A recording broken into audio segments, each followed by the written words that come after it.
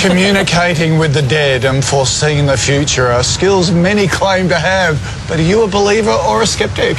You're just holding onto my hands because I've got gloves on, long as it's it's so, warm. It's so warm. I had no idea.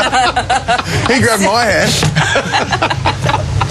At 7.30 tonight, we are going to see seven of our top psychics take the ultimate test from finding a lost child in the bush to getting in the minds of celebrities. The show will find Australia's number one, and the host is Andrew Daddo, and of course he joins us now. You didn't hold my hand. I've got gloves on, I'm the warm well, one. I, I, I had a a feeling through David that you two were cold, possibly needed to go to the bathroom thanks to the, the raging torrent behind us. Exactly right. You would know a lot, so I take it you're a believer, not a skeptic. Uh, No, I'm not. I'm, I'm not either way. I've seen things during the program that have made me really wonder about how they do things. I mean, genuinely wonder. Like I don't know how, because there's different types. There's you know a couple of mediums and then uh, medical, intuitive they're called.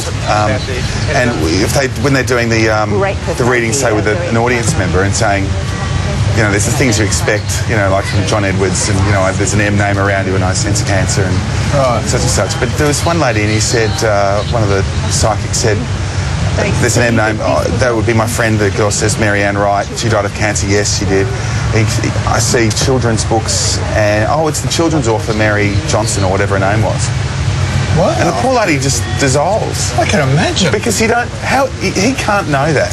Yeah. So you'd see something like that and think there's something in it, and then you might see something else and go, you know, that, why did they not Yeah. get that? So. Now, you've put together a set of seven of Australia's top psychics. How how did you choose them? Obviously, they knew they were coming on well before you you. approached them. You imagine being, I mean, I did it. I said, so you you already, know, there's no point having the competition because you already know. And they go, mm, well, good on you. Um, no, they, they went to the Psychic Societies of Australia and, and put out the call. And so um, a lot answered, apparently a lot didn't and have now gone, oh, now we want to be involved with it. Because they were worried about, you know, Taking the mickey. take, thanks, I was going to say Right. something else, I just couldn't find the words. Mickey. There they are, Mickey, thanks. the answer was in front of me, David. Yeah. And so you choose, how do you, you choose the number one? How do you do that? The one. Uh, The It's well. Uh, there's there's a skeptic, a guy called Richard Saunders, who's part of the Skeptic Society. There's a lady called Stacey DeMarco, who's a metaphysicist. Metaphysicist. Easy for you to say.